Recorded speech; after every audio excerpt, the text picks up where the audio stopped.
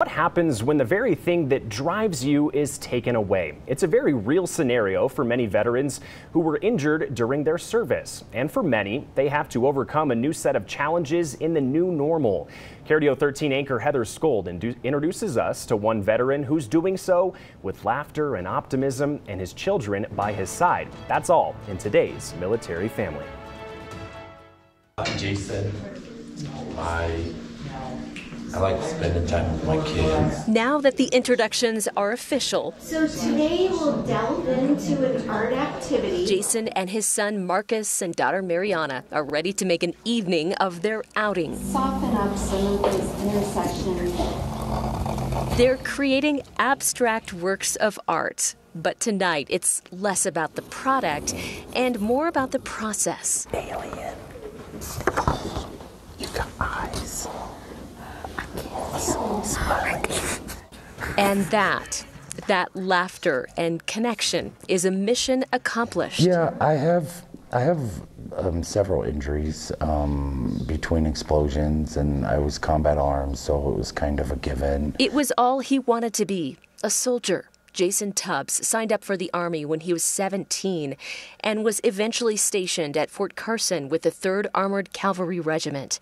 The service came with great cost. He suffered brain injuries and nerve damage due to repeated blast exposure as a field artillery soldier. And another different kind of injury came during training. Um, I had a 109 howitzer, kind of like a, a tank. I put my hand on the ledge to squat down, and the door broke. And the door came and smashed my fingers off.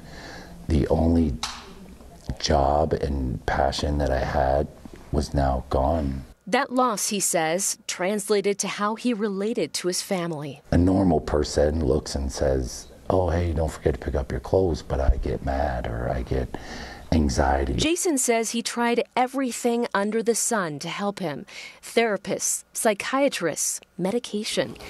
He then got involved with Operation TBI Freedom, which is a program of the world renowned Craig Hospital, which specializes in brain and spinal injuries. Learning a new hobby or a new activity is, is uh, it's, it stimulates neuroplasticity. Stephen Smith is the military programs coordinator for Operation TBI Freedom. He says it's common for those with traumatic brain injuries to self isolate, so their program eases veterans and their families into activities they can do together. What we want to do is provide a safe place for veterans, service members, and their families to engage in activities. In doing so, we're able to normalize the consequences of traumatic brain injury, and participants feel validated. For both Marcus and Mariana, it's helped them gain perspective and respect for their dad. Um, I know my dad to be a very loving and caring father. Specifically, he's very good at cooking.